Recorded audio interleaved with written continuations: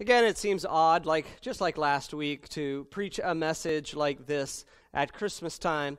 But you know, I do believe that there are particular temptations uh, that we can be given to around Christmas time.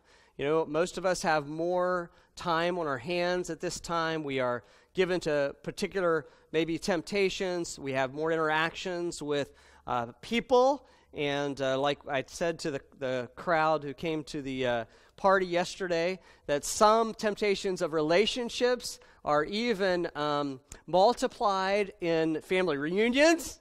you know, I say some things to my brother that I wouldn't say to anyone else on the face of the earth. Uh, there are times you probably you have uncles or aunts or people that friction. Uh, I'm not sure why the Lord has led on these Sunday nights before Christmas to talk a lot about sin and temptation and a believer, uh, but He has. And so tonight I'd like to preach to you a message entitled Preparing for the Adversary. Preparing for the Adversary. Let's begin with a word of prayer, please. Thank you, Lord, for these folks, the family. I pray as we go through this word of God that you would please just uh, allow us to see your precious word and uh, that we would be warned by it and changed by it. And I, I do thank you that, that it is such a privilege to be able to fight sin for the glory of God's sake. Um, I thank you, Lord, that you are highly glorified when we make you the Lord of our lives and when we resist and uh, the culture, our the world, and our own flesh and the devil. And so, Lord, I pray that we would look, enter in this passage with joy and we would see this truth and we would grow by it. In Jesus' name, amen. Years ago, there was a comedian, and I, I, feel like that every time I preach on the devil that I mention this, but years ago there was a comedian that some of you uh, knew, and his name was Flip Wilson. And Flip, he, his, one of his main things was to make uh, comic jokes about the devil made me do it. Anybody remember that? You remember that guy? All right. so I thought that I would listen to one of them and just a little spiel so that I would be able to understand what he was saying. And in the spiel, it was a husband and a wife, and the husband was mad at the wife because she had bought this dress. And she kept on telling him she was just minding her own business, walking down the street, and the devil made her buy that dress. Well, that is maybe uh, uh, a little bit of comedy in being able to blame someone else for what you do in your life. But I am here to assure you tonight that the devil never made anyone do anything. We all bear personal responsibility for our actions, according to James chapter 1 verse number 14 that says, "Every man sins when he is drawn away of his his or her own lust and enticed." And then sin goes on and brings forth death. It is our personal responsibility that causes us to, to make decisions that either obey or disobey the Lord. However, however, however, I'm here to talk to you tonight about the fact that the playing ground of temptation is not even. What do I mean that? The fight against your fight against sin is not even ground. It's not just you against your temptation. We see from the very first man and the very first woman in the Bible that there is a lobbyist for sin who is a great enemy of God and his children that he is trying to entice and push your temptation and draw you and draw your desires into sin. We can call him a cheerleader, a lobbyist and a cheerleader of sorts. He is a cheerleader of sin and destruction. He is a grand manipulator who has one thing in mind towards you to destroy and, de- and to devour your Christian life. And tonight we would like to remind ourselves of this adversary so that we would be on guard and that we would be aware and uh, that we would know and understand that uh, we are not just going on in our Christian lives, you know, day after day after day, uh, without an adversary who is trying to destroy us. I just want to tell you this as we go through that there are some particular things, even in my study of this this week, that are I don't want to say new new thoughts. They're not new thoughts, but they're deeper thoughts on this subject. You may have a certain perspective concerning the devil, and I hope that the Lord maybe would open your heart about some things new and understanding so that you may resist him tonight. Would you stand, please? 1 Peter 5, beginning of verse number 8. 1 Peter 5 8 says, Be, what's the first word? Yell it out. Sober. Be, what's the next one? Vigilant. because your adversary, the devil, as a roaring lion, or like a roaring lion, walketh about, seeking whom he may devour. Whom resists steadfast in the, what's the next word? Faith, knowing that the same afflictions are accomplished in your brethren that are in the world. But the God of all grace, who hath called us unto his eternal glory by Christ Jesus, after that ye have suffered a while, same, by the way, look up here, same conversation. Is it interesting to you that the word adversary, devil, and temptation is connected with the word suffering? Okay? After ye have suffered a while, make you perfect or, or complete, mature, establish, strengthen, and settle you. To him be glory and dominion forever and ever. And everybody said, Amen. You may be seated. Notice first, please, the first commands, plural. The first commands, plural. It's in verse number 8. Look at it again. Be sober, be vigilant. The passage starts with two quick commands without explanation at all. It just gives them, all right? It's enough to hear the words concerning your Christian life in view of temptation and the evil lobbyist of temptation, the devil. It says, number one, be sober. number two, be vigilant. There is content in those two words. First of all, be sober. It is the same word that you and I, that in the Bible is used, that you and I would think of. We, would, we use it basically only one way now in our culture of someone who is drunken, of someone who, uh, who, who, who, stay, who, who won't get drunken. He's, he's not drunk anymore. He is sober. It's used about intoxication in the scriptures as well. However, there's a much broader meaning that the New Testament uses concerning the devil's temptation other than just drunkenness. It means here to be sober, to be clear in thought, free from distractions. We could use the word focused. So when the, when the Lord is saying, not just here, other places, be sober, He is saying, be clear in your thinking. Be clear. And you can, you can understand how that word applies to intoxication. Okay? The opposite. Okay? Be clear in thought. Be free from distraction. Be focused. And, and the idea of being sober so that you can detect, it's saying, be sober, be vigilant, because why? Your adversary, the devil, he, he's coming at you. And so the understanding here is be, be clear in your thought, free from distraction, focused, so you can detect influences, temptations, patterns of thought in yourself and around you coming at you that could distract you so the devil could get advantage of you in some way. And so, the first strategy, the first uh, command that is given is that it is possible for you to become distracted in some ways and unfocused in your Christian life so that you're easy prey for the lion who wants to devour you. So that you, so he sees you as the weak antelope that the lion is going to chase. Be clear so that you can resist him. Be clear in thought, focused, so that you can see him coming after you. The ways this could happen of being intoxicated by distraction are nearly endless. I mean, I'm going to name some, but they are nearly endless. And about the time I say one, that's not what's going to cloud up your mind as a believer. Uh, entertaining small thoughts that break down your convictions can be intoxicating so that you can't see the devil coming at you.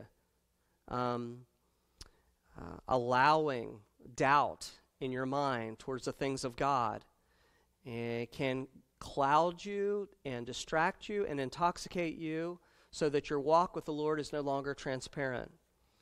Medi- meditating on temptation uh, until you eventually take that step and give in is intoxicating your mind.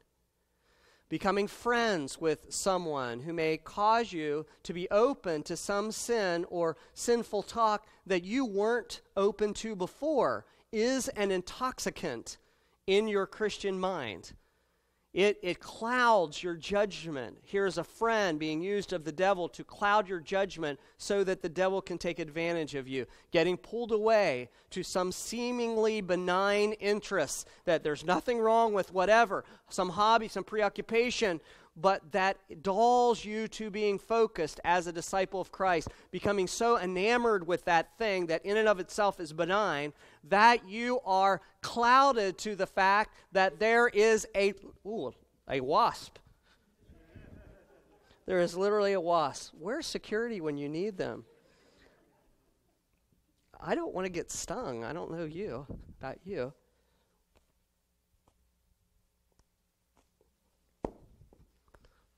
The devil. That's a full fledged wasp, man, trying to take me down. See, if I was like hyper spiritual, I'd say, The devil doesn't want me to preach this message to you. He sent a wasp after me. Getting pulled away to some seemingly benign interest, but it so clouds your mind that you don't understand that the Lord, or excuse me, that the devil is distracting you from being focused on the Lord. You know, being sober minded allows you to think honestly and clearly and truthfully concerning things that the devil may draw you into because your mind is clear, because you have knowledge that someone is trying to distract you. Certainly, in the extreme sense, we can say, be sober. We can use it in the extreme sense. Uh, does alcohol, can alcohol, can, can pills, can substance abuse, can that cause you to be uh, intoxicated to the fact that the devil could take advantage of you? Yes. I mean, that is a very literal translation of be sober. Certain kinds of putting your mind on certain things can dull you. And I didn't know how to say this. And really, I, w- I was going to say like the dulling of communication. That doesn't make probably sense to you. But, but certain things like setting your mind focused on, on just one thing, like uh, uh, a, a hobby horse of something like um, talk radio, or the hobby horse of politics, or, or of uh, just of even certain influences in the culture of music or entertainment, media can dull you, can, can make you distracted, and, and so that you're not focused on Christ anymore, and you're not focused in your Christian life to what your mission is, and you're, e- you're an easy pickoff for the devil. The second command is there be vigilant. Be vigilant. This word means to be watchful, vigilant, watchful. And, and I think probably the best way you could say this is expectant. I mean, you're watching for it. How many of you watch those natural, National Geographic, th- you know, the things about animals and, and those, those different, I love to watch those programs, PBS and all that stuff. As you, as you watch those out in the, the wherever. If Emma was in here, she could give you all the right words. She loves that stuff and knows all the right words. Out in those fields and those uh, uh, valleys and those animals, those little antelopes and different things, they're just perking up their heads all the time. They're watchful. They, they're just waiting for the enemy. Why? Because it's been too many times that too many, you know, Floyd got picked off last week back in the back of the herd. That's not going to happen to me. And so they're like up, you know, and then something little happens, just a little you know, their ears go up and their tails go up and boing, boing, boing, and they're gone, man. This is the word be vigilant. I mean, just watching all the time, expecting, knowing that. It, listen, if you don't believe in a literal devil, then don't be watchful. But the fact is, the devil is real. And he is, he's, not, he's, he's always portrayed as very dangerous, very hideous, you know, and, and very uh, coming at you. God has warned you. Be expectant of his continual attack. It's real. There are daily temptations and attacks by the devil's minions. That's something we need to understand. This is talking, is the devil omnipresent like God? Can he be everywhere at once? Yeah, the truth of the matter is that the devil has probably never tempted or brought into temptation me or you. But the devil has minions and the scriptures talk about principalities and powers and a third of the angels. I mean, there's, there's, there's millions of minions that he has that do his bidding. Watch for it. Beware. He is trying to devour you. Look at number two, the adversary, verse number eight. It says, Your adversary, the devil, as a roaring lion, walketh about seeking whom he may devour. When the Bible uses the word adversary to describe you and the devil, We need to take that very, very seriously. He is your enemy. The devil is not indifferent to you, for instance. He is against you. He's not like, oh, well, you know, so and so, you know, whatever. He wants to, the scripture uses of Peter, he wants to sift you as wheat. He wants to control you. He wants to steal the joy of your life. He wants to kill. He wants to destroy. He is that thief that Jesus was talking about. He wants to devour you. It is not what you have done to him that, that makes him hate you. It is what your master has done and decreed about him that makes him want to destroy everything that your master loves. You know one of the greatest thing that your master loves? You. This is why the devil hates you and wants to rip you apart because the Lord loves you and the Lord has committed his love towards you. He's coming at you and he doesn't want to irritate you. He's not trying to irritate you. He wants to destroy your love for the Lord. This is not a small thing that he's doing. He is trying to destroy your love for the Lord, your consistency to serve the Lord, your godly marriage, your family, your thought life, your purity, etc., etc., etc. And I want to tell you something really clear here. He is stronger than you. He is stronger than your willpower. He studies you to see your weaknesses, and he is no joke. He, he's not that thing that uh, you see played out on on television, you know, this kind of this, this funny little animated creature that sits on your shoulder with horns. No, he tears, he'll tear out your heart with his mighty fangs if he can. He will rip you apart. He hates you and he hates your master. See how he's described in verse number 8? He is a roaring lion. The roaring part is a vicious, angry lion walking about, stalking, seeking whom he may devour. That tells us a few things there. He is powerful and he's vicious. He's like a lion. Uh, probably there, there's not uh, anyone here that if you, if you had the opportunity to go to wherever lions live, you would uh, just go out in the bush and you just walk up, kitty, kitty, kitty, kitty, kitty, kitty. Here, kitty, kitty. Listen, I know what happens sometimes when we do that to our, our real kitty cat. Eh, she rips you apart. I can imagine the strength and power of a lion. He's powerful and vicious. He is stalking us, studying us like a lion, looking for weakness to attack. Looking. Have you seen those programs about a lion? Of when, when the antelope or whatever, the deer, is not looking and puts its head down, that's when the lion creeps. When you're not looking, when you're not being sober, when you're not being vigilant, when you think you have it all under control.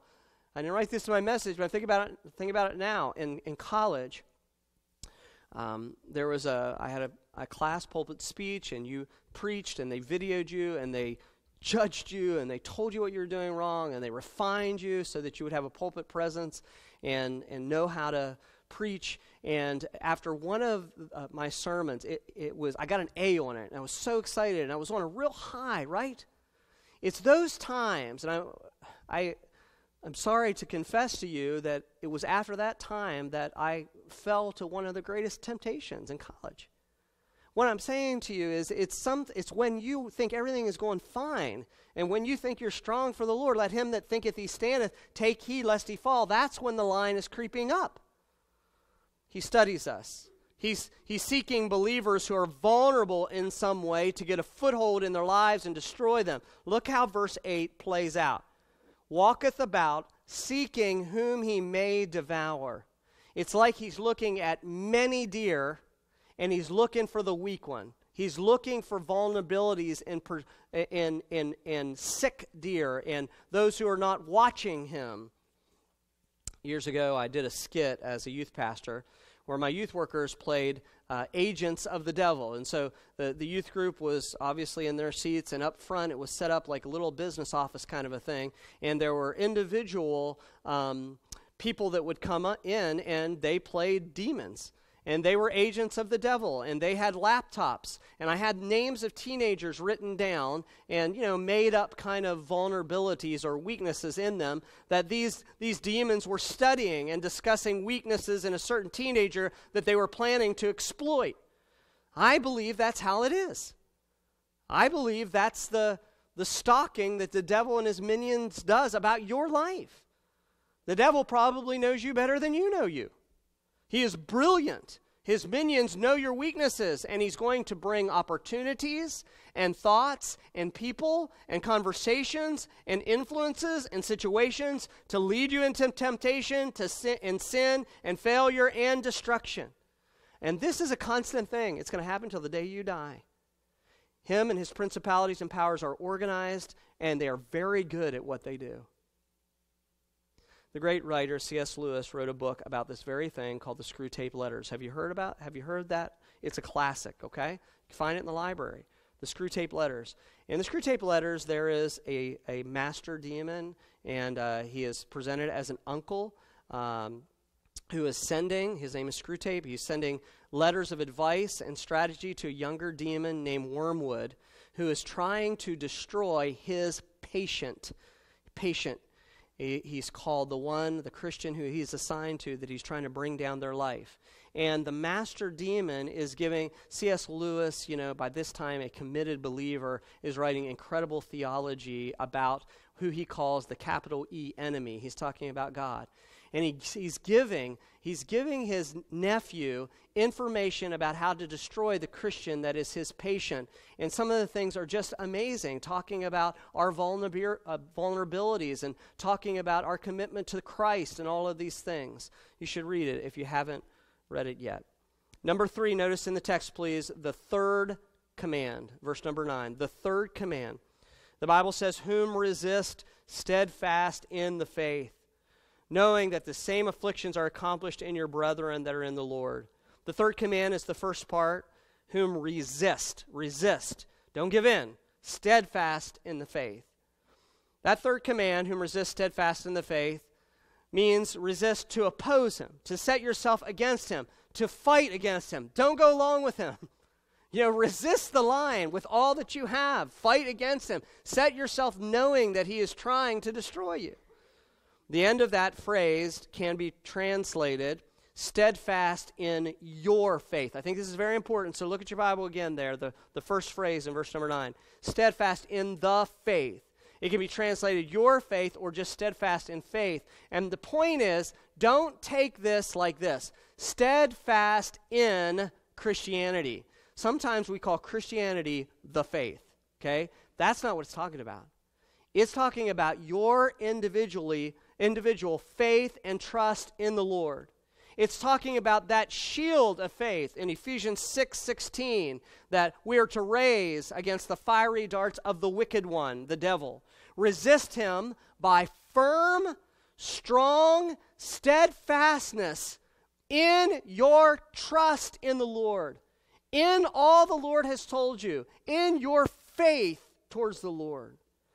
It is easy just to think of Satan's temptations like being tempted to lie or, or tempted to think some dirty thought or something like that.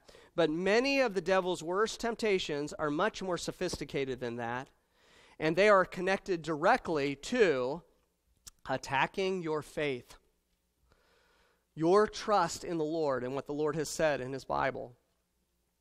They keep us, his attacks keep us from remembering the firm promises of faithful God, of remembering that He has been good to us in the past and that we can rely on Him in the future.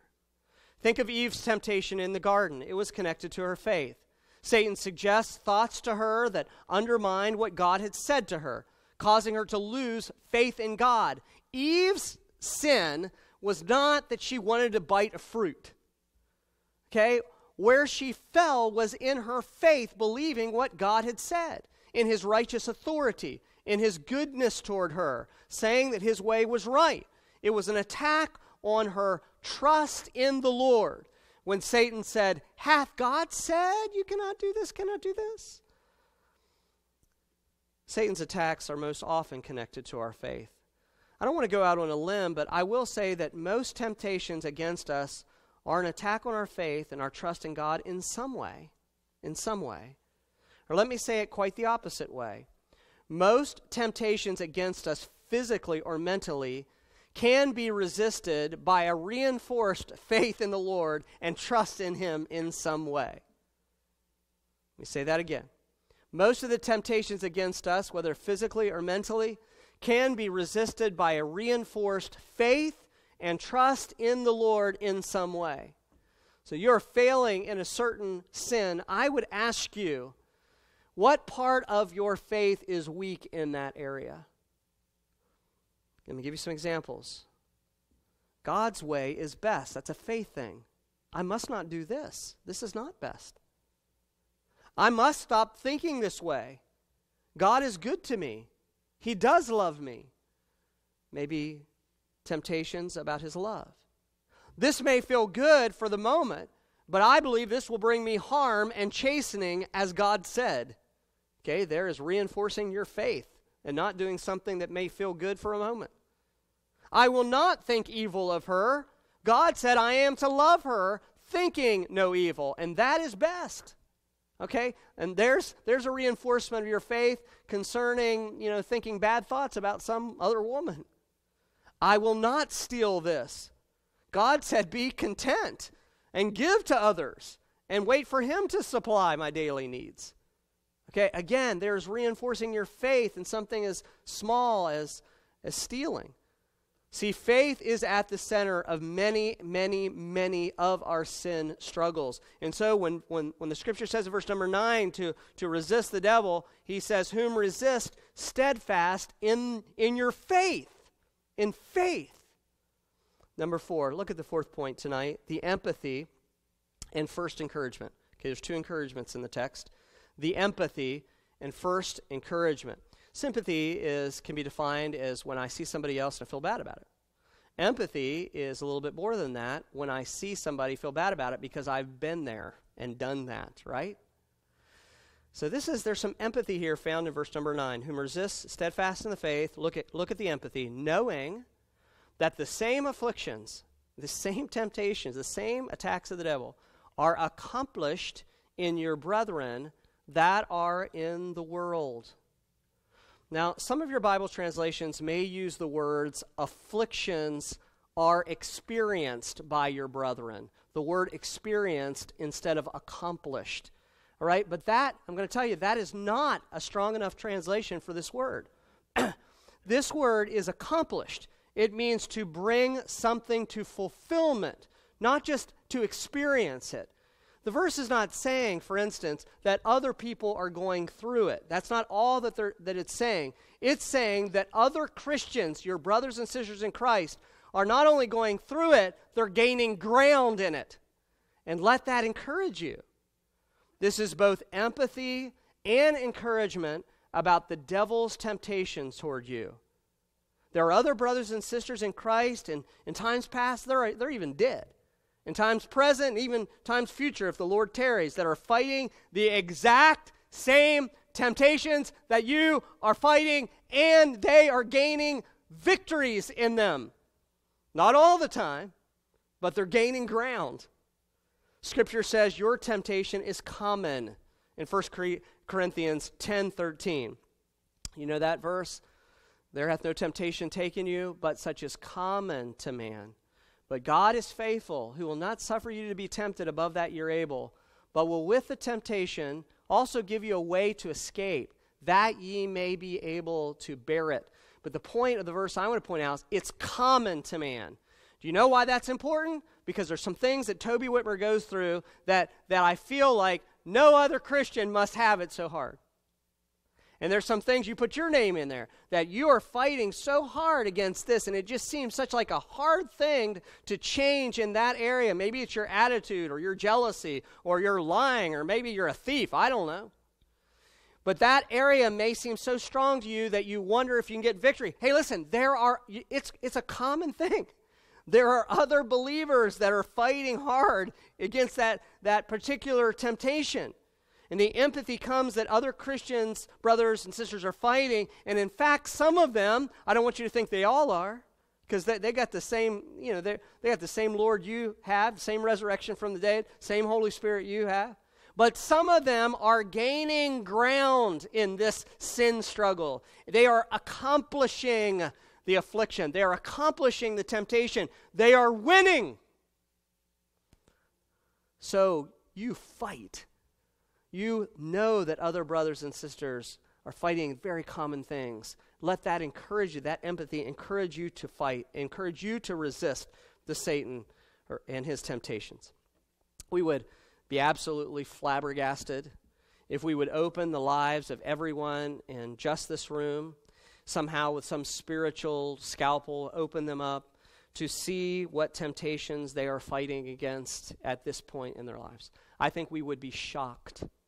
We may not be, be able to look each other in the eye anymore. We may, we may just want to all quit. I don't know. But the point of verse number nine is that we can't quit, and we shouldn't quit. And, and we should continue to fight against the devil. Because there is some comfort knowing that we're not the only ones fighting our kind of temptation. Others are suffering under the same temptation, affliction, and gaining ground. You are not alone. You are not alone. The last point tonight is the second encouragement. Look at 10 and 11. The second encouragement. But the God of all grace, who hath called us unto his eternal glory by Christ Jesus, after that ye have suffered a while, make you perfect or mature, complete, establish, strengthen, settle you. Here is some great encouraging encouragement to you, and it's twofold. Here's the promise of God's grace over time. Listen to this, please. Listen to this. This is great for you to shoot out on your work day tomorrow, to, to, to shoot into your neighborhood, to do whatever you're doing at home, whatever. Here is the promise of God's grace over time in your Christian life, strengthening you to make particular attacks from the devil easier. Easier. It is not that they are easier in the passage, it is that you have grown stronger over time. The Lord has strengthened you spiritually. You've grown, grown stronger and stronger by walking with the Lord and learning about the Lord and learning about His strong ways. There's the little word grace in there, look at it. But the God of all grace, that is, He is raining down, R A I N I N G, raining down grace and help for you fighting these temptations over time, and you are becoming stronger and stronger against Satan's strategies and stronger and stronger to know the outcome and stronger and stronger to resist. You are becoming, the, the scripture uses the word here, perfect, is, is the idea of mature. You're growing in maturity. Established, that means in a fixed position. You're not losing as much ground anymore. You've planted your feet and you're resisting much better. You've become strengthened. You're stronger than you used to be. You are more settled than you used to be, not knocked about every time that the lion starts chasing you. These are all words of maturity in a believer after enduring temptation that literally has wrecked you and tossed you many times. But over time, you become stronger.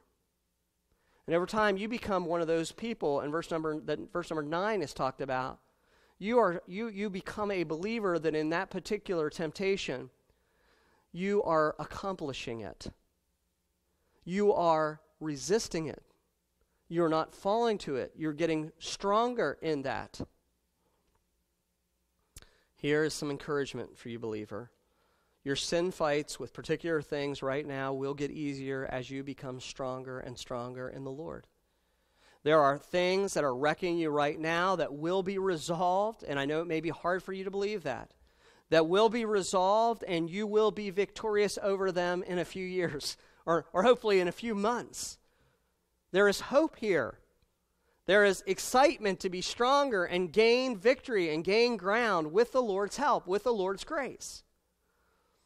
But the second aspect of this promise, of this encouragement, is found in the words in verse number 10 Let's look at it again. But the God of all grace, who hath called us unto his eternal glory by Christ Jesus, after that you have suffered a while, make you perfect, establish, strengthen, and settle you.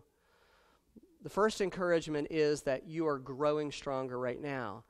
But when you look at this term, eternal glory, glory there's another encouragement here.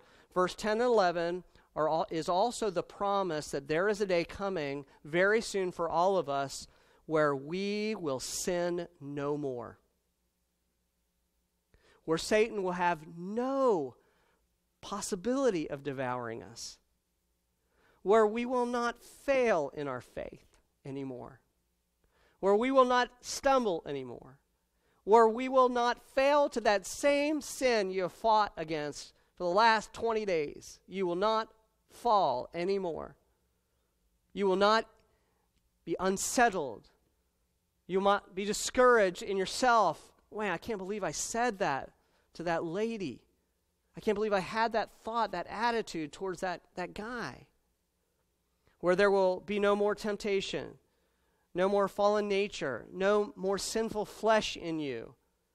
We will be 100% perfect. The words in verse 10 perfect, established. We'll be fully mature because we'll be like Christ. Strengthened, settled. We will be like Jesus. And I would sure that every person, every sincere believer in this room, would say that that day can't come too soon for you.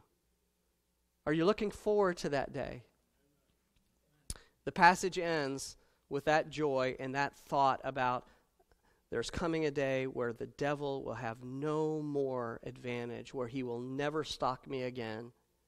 It ends with that joy, praising God and giving him the victory or the glory for that coming day of dominion over all sin and the devil. And it's in verse number 11. And I'd like to, re- I'd like to ask you all to read it out loud with me. All right? You ready? Verse number 11. To him be glory and dominion forever and ever. Amen. And that is just the final doxology, the final praise that there will be a, a time where only the Lord has dominion. Tonight, I warn you about a lobbyist, a cheerleader of sorts, who suggests, fuels, arranges, holds back truth, encourages temptation to you and in you, both physically and mentally. I don't know how he does it. He does it. The scripture says he does it. He is stronger than you, but God is on your side and has given you here strategies to resist him, so God would ultimately get all the glory. By your fight, your ever growing strength, your gaining ground, God pitched this deceiver out of heaven for, for his pride and for his mutiny. Jesus mocked him openly on the cross, the scripture says. Jesus wrote his death sentence by the resurrection.